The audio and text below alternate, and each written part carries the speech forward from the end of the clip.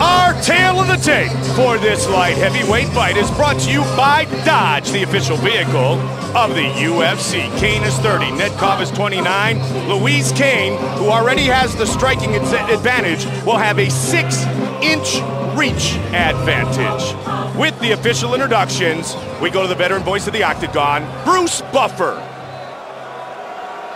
Señoras y señores, bienvenidos! Ladies and gentlemen, we are live from the HSBC Arena in Rio de Janeiro, Brazil for UFC 134, presented by City of Rio. And now, it's time to begin our first bout of the evening. Three rounds in the UFC light heavyweight division. Introducing first. Fighting out of the blue corner. This man is a mixed martial artist, holding professional record, 11 wins, no losses. He stands 5 feet 11 inches tall, weighing in at 203 pounds. Fighting out of Veliko, Turnovo, Bulgaria, Stanislav Stucky.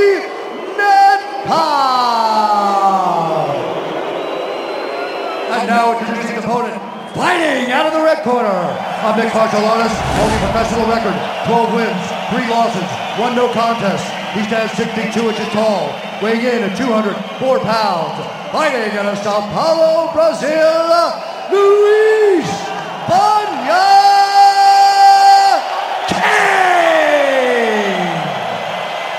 And when the action begins, our referee in charge, Mario Yamasaki. Mario Yamasaki, our referee.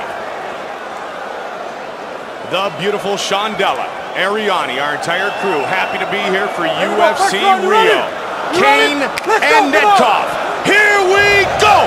Tonight's clock brought to you by Shark Night 3D in theaters everywhere, September 2nd. Luiz Cane, the southpaw in the black trunks. The Bulgarian Nedkov in the white trunks. And Cane looks very lean. He looks in very good shape for this fight. In fact, he said for his last fight against Marshall, he was in the best shape of his life, and he's only built from there. That's the way to do it. You don't want to take too much time off as a fighter. He's taking this seriously and uh, looked great. See how he performs against Nedkov, who's not the most technical striker, but he is very heavy-handed. And even when you're getting the advantage in the striking department against a guy like that, you always got to be ready, make sure your hands are up, because he is very awkward, but he is heavy-handed. Six-inch reach advantage for Cane, who can be a machine of destruction. He's going to have to use that against a guy who really wants to get on the inside, either to land a punch or to get into a grappling exchange like he did right there, and he did land a nice little short right hand. And he continues to push forward, does Nedkov. 11-0 in his MMA career. Good job, good job by Cane. He went backward, he went straight back in the beginning, but then circled off away from the fence.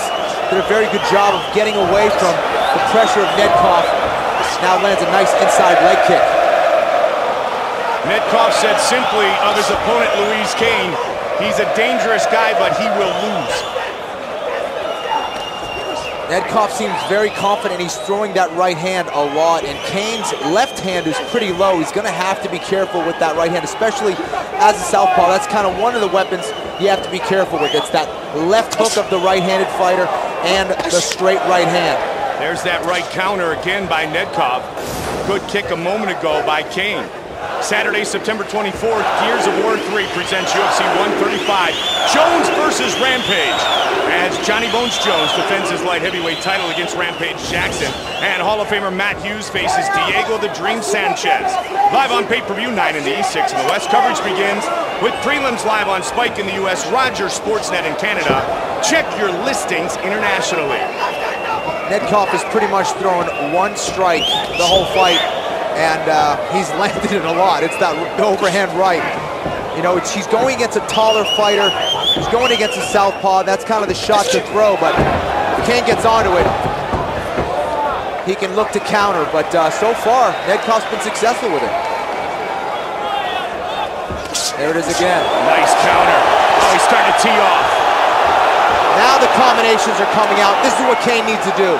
Cane Land his combinations and get out. He's very, very technical in his striking. He's a lot of fun to watch.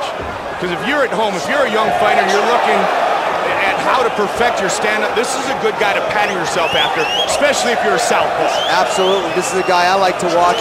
Um, he just has to be careful with his hands. They're just a little bit low, but man, when he throws those combinations, they are beautiful to watch. And uh, we're seeing another guy, stablemate of his, Edson Barboza, who uh, is cut from the same mold and very, very exciting striker to watch as well. Barboza taking on Ross, the real deal Pearson tonight in Rio. Looking to set up that left hand again. He might look for a huge uppercut. I wouldn't mind seeing a left high kick from Luiz Cane, especially again against a shorter opponent.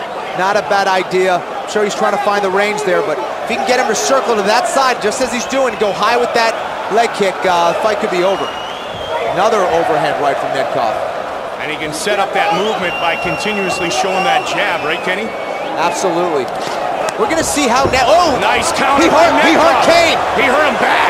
Nedkov looking to swarm Cane's in trouble. Cane. Is in big trouble. Nedkov looking to finish. Kane trying to protect The himself. right it's all He over. Stanislav Nedkov with the victory. This is what this is what I was talking about earlier. You know, a guy who's maybe not as skilled on the feet as Cane, but he possesses big time power, and he just kept throwing that right hand until until he dropped Cane. But Nedkov was in some serious trouble up up until that point. Boom. The right hand followed by a left hook. He put that combination together right on the temple of Cane, and those are the kind of punches that aren't going to just put you to sleep, but it's going to rock your equilibrium. That's when the octagon starts to shift, and you think you're in an earthquake, and that's exactly what Nedkov brought to Cane. Cane was in trouble there.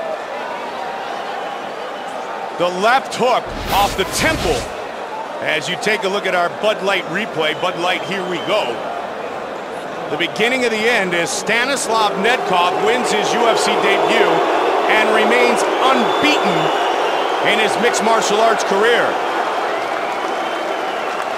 Take a look at it again, Kenny, and you see the second hook really do the damage to the equilibrium of Luiz Banha Cane.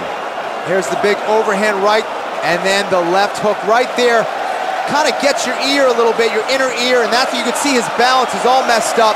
He's trying to get back into the fight, but very difficult to do so. Once your equilibrium is gone, it's really hard. You gotta either lock up with him or run away, and he wasn't able to do that against Nedkov. Nedkov the victory. Bruce Buffer has the official decision.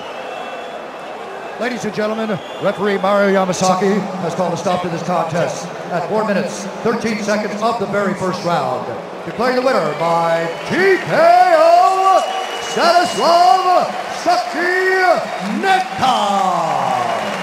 Nedkov with the win.